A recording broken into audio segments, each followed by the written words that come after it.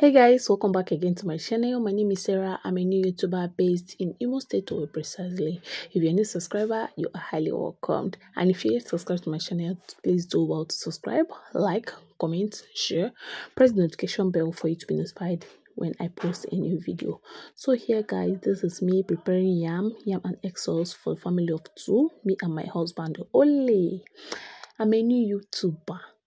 You guys, please subscribe to my channel, okay? Yeah. So here i'm peeling my yam. First of all before i start peeling my yam i first of all decided to pray over the yam because it's a new yam before i start cutting it and peeling it. Yeah. So that's what i'm doing here peeling my yam the back of my yam.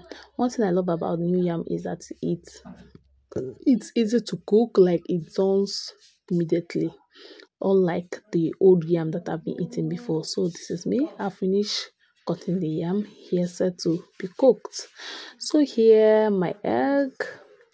I'm trying to add salt to my egg because why not? I cannot fry my egg without adding salt. Even if i'm using to cook egg sauce i'll still add egg a little pinch of egg uh, salt to it actually. So here i'm beating beating beating beating beating beating beating beating so that everything will cooperate together. So this is my onions pepper and tomato mix.